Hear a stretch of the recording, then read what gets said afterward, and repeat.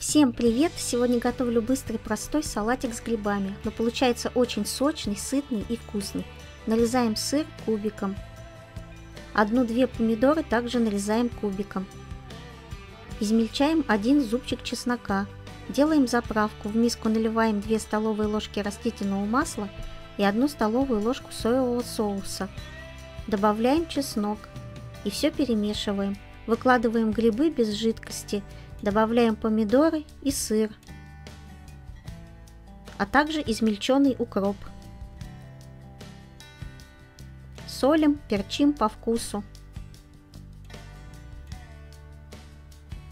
Выливаем нашу заправку. По желанию можно заменить сметаной или майонезом. Получается тоже очень вкусно.